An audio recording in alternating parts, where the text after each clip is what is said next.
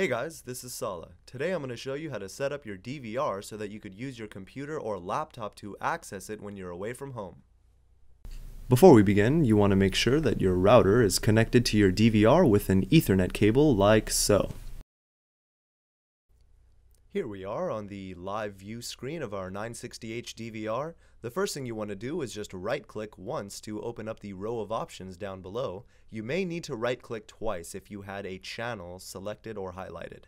Click on menu and it starts us off on IP channel. We're going to go down to network and jump over to the advanced tab. You may notice that the server port is set to 9000. We're going to actually need it to be over 9000, so just delete the last three zeros and change it to 9999. And here, for the HTTP port, we're going to change it from 80 to 8888. Make sure that this box is checked, and then just click Apply and OK. Next, I'm going to show you what to do on the computer so that you know exactly how to pull up and access your DVR's interface through a web browser.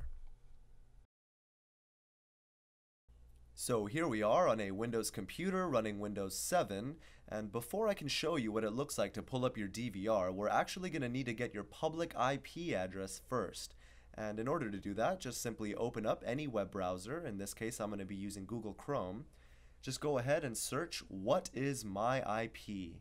I'm doing that up here because it's Chrome, otherwise just type that into Google's search box and it will actually return it to you on the search page without you needing to open up any one of these websites. So write this down, save it somewhere, maybe even as a bookmark for your favorite web browser just so that it's easier to access.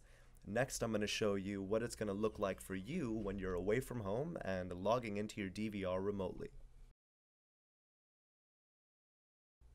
So here we are one last time on a Windows computer. Make sure that you have your public IP address handy. Go ahead and open up a browser like Google Chrome and start punching in all of the numbers. In my case, it's 50.162.18.140. And this is where you want to add a colon and your HTTP port number, which was 8888. It may ask you to install a plugin with a little icon up here, Whatever it is, just click install, run the program, make sure your plugin's installed. You may have to actually end up refreshing the page just for the plugin to pop in and work correctly. And other than that, once you see the interface looking like this, just punch in your password. Change the media port to match the server port, if you recall, was 9999. And change LAN to WAN and click the arrow. Once you see all the cameras come up, that means you're done. Thanks for watching guys, be sure to subscribe to our channel and also check out our other how-to videos for Amcrest Technologies.